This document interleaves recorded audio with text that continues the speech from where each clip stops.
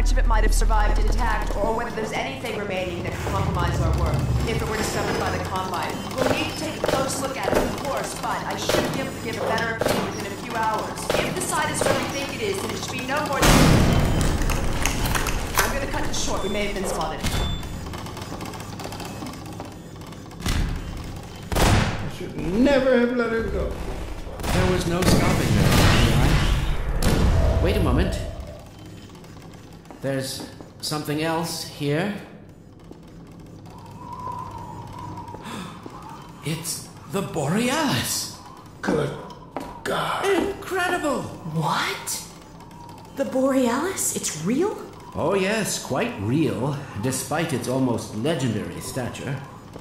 Our peers at Aperture Science were at work on a project of some promise, but in their rush to beat Black Mesa for funding, they must have compromised ordinary standards of risk.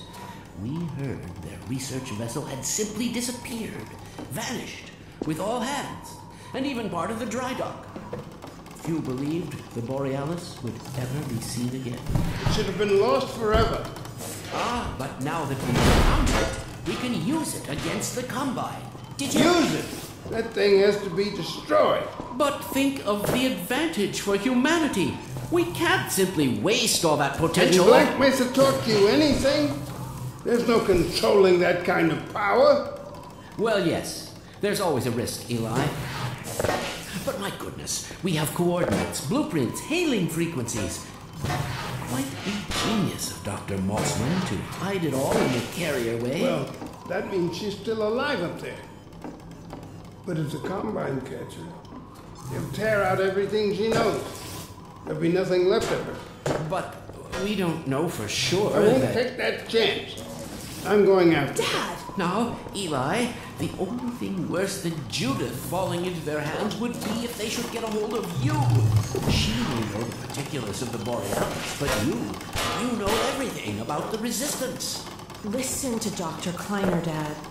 Gordon and I are more than able to handle this. We'll get her back.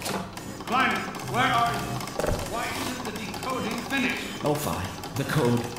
Yes, Magnusson. It just needs a little bit longer. Waiting for the combine. Go ahead. They'll soon be here to give it to you in person. I'll hurry along, Magnusson. I'll be back as soon as I finish. Dad, are you okay?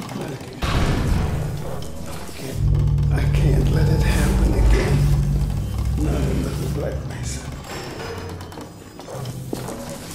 Black Dad, prepare for unforeseen consequences. What did you say? Dad! Okay. It's okay. Just, just lean into me. Let's get you off your feet. Thank you, baby. I'll be fine in a minute or two. Okay. Do you need anything? Actually, Alyx, would you you mind getting me a cup of tea? There's a hot plate in the old staff room. I'll be right back. Gordon, keep an eye on him? We're, we're not going anywhere. Thank you, baby. Unforeseen consequences. The last time I heard those words was back at Black Mesa. You had just stepped into the test chamber when he whispered them in my ear. You know who I'm talking about. Our mutual friend. When he brought in that crystal, I knew I. I should have aborted that damn test, but I didn't. The whole world went to hell that day. And now, now he's using my little girl, putting words in her mouth. God damn it. I should have known when he rescued her it was for his own damn reasons. Gordon, there's so much I need to tell you. Between us, we may finally have a chance. Um, Here you go. Is everything all right? There's nothing on it. All right, people, change of plans. There is no way we can launch before those striders are. Oh, oh, excuse me if I'm interrupting tea time. I'll just step out until you've finished, if that's more convenient. Well, Freeman, I believe I've found the perfect use for you. Follow me, quickly. We'll, uh, we'll talk later. I'll catch up with you in a bit. Freeman, Striders are coming. A single one of those damn things could shoot down our rocket. Don't dare launch until all Striders are destroyed. Now, you've proved yourself capable, and the staff seem to respect you. Therefore, I'm putting defense of White Forest and this ingenious new weapon of mine in your hands. We call it the Magnusson device. Not my chosen label, you understand, but it seemed to please the personnel. Now look lively in there. Warm up the delivery port. What do you say? Now, what it is, is a sort of sticky bomb, although cleverer than that makes it sound. From your point of view, you merely pitch the device at the Strider's hull, then blow it up. I've struggled with a mechanism for launching the device, but. Well, your zero point energy field manipulator clears up that little problem. Now follow me, and we'll let you get in some practice while we still have time.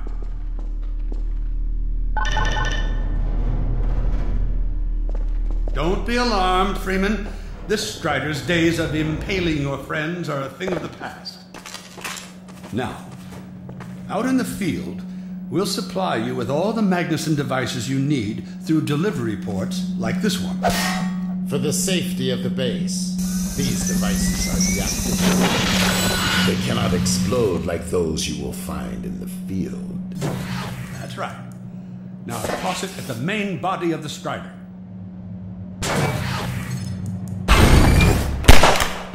There you go. Ah, not too difficult at this range, is it?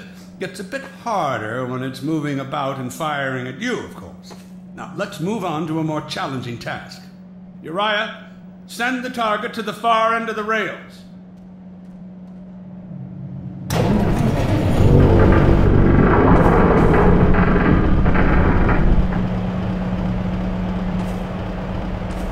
Very well, Freeman. Try it now.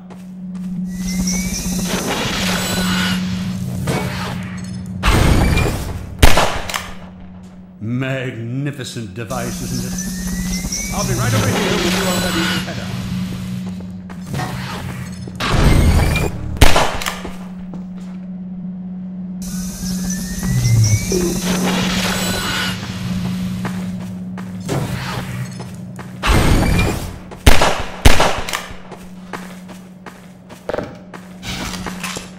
Had enough? Your car is fueled and ready to go. Now, every building in the valley has its own dispenser port, so you'll have ample supply of explosives. Now, I must get back to my rocket, Freeman. I'm relying on you not to squander my trust or my Magnussons. Oh, and Freeman, if you pull this off, I might just forgive you for that debacle at Black Mesa. You know the one I mean, involving a certain microwave casserole.